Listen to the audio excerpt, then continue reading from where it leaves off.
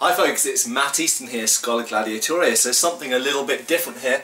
I'm in the dark. I'm outside in November in um, in the south of England and it's a little bit chilly I have to say. So I'll keep this relatively brief.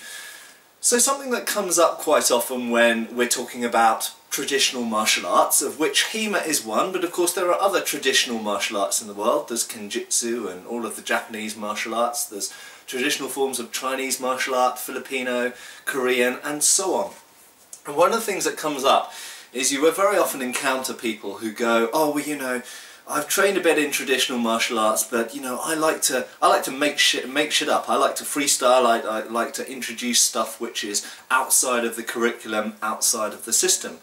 And actually, I don't have a problem with that. Okay, one of the great things about HEMA is that HEMA has been, certainly for as long as I've been involved in it, 20 years, has been quite open to um, external inputs. But one thing I would add is that there's nothing new under the sun. I would say that certainly within the uh, parameters of armed martial arts, that is if we're talking about swords and spears and um, perhaps even daggers, things like this, there's, I would say that there's nothing that you can think up that hasn't been done historically before.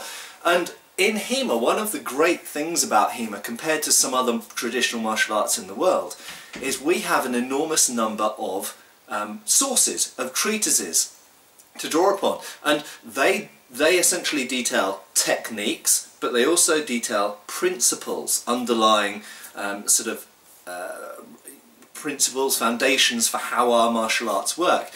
And I would say that there's nothing that you can think up that makes sense and that would be sensible to do in a sword fight that isn't included already in one of those treatises. And of course we have a huge period to draw upon, whether it's going all the way back to uh, 133 or I-33, depending how you uh, prefer to call it, sword and buckler from, from the uh, 1300s, perhaps even the late 1200s, depending how you date that. So essentially 13th century right the way through to um, the beginning of the 20th century. And there's nothing that you can think up that would make sense to do with, for example, a sabre or a longsword or a rapier or a langmesser or uh, sword and buckler, sword and shield, spear, poleaxe, halberd, quarterstaff. There's nothing that you can think up that either isn't detailed exactly, um, already shown in existing treaties, or doesn't already really fit quite easily into the principles that are taught in those treatises.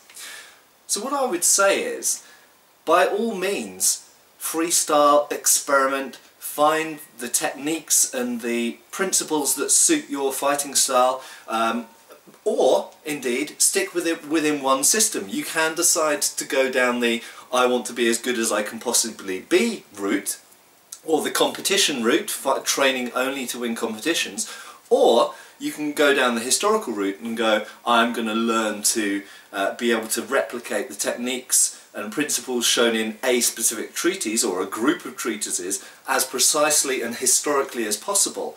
Um, you can go down either of those routes and it's all HEMA. But there's very little, I would say nothing, that you can think up that makes sense with historical weapons that you can introduce into HEMA that is not already there somewhere.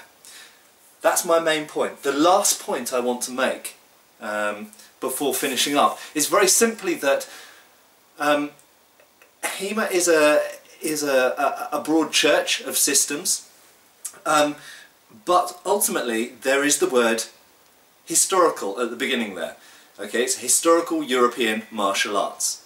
Now you could invent a modern sword, sword fighting style, but what would that actually be? It would presumably be a competition, a sport fencing style, or maybe a, a LARP style, or a reenactment style. And if we look at Battle of the Nations, we see this. We see fighting that looks nothing like armoured fighting from the treatises, because they're not trying to kill each other. They're trying to bash each other's armour and throw someone on the ground to put them out of that round so that they can win the team fight. Context. It's all about context. And if you're a modern person in the modern world, competing in competitions or doing LARP, role-playing, whatever, you're not functioning in the same context as a historical person who was fighting in historical contexts. Not always life or death, some duels, some fights weren't life or death. Uh, you might be a, a, a yeoman, a, a, a warden, aiming to capture and detain people, essentially a policeman of the time, or you might be in a first blood duel. There are all sorts of different historical contexts. But you can't invent modern things that would fit within a historical context that aren't already there within the historical documents. They're all there already. So to finish up, modern people, firstly, really, as far as I can see, can't think up any sensible techniques with weapons that aren't already there in HEMA sources, number one. Number two, if they do think up something that's not within the historical context, there's probably a very good reason for that, and it's probably because it makes no sense at all in the historical context. Cheers folks. Thank you for watching. Please subscribe, follow us on Facebook, you can buy t-shirts through Spreadshirt, support us on Patreon, or follow us on Pinterest. Thank you.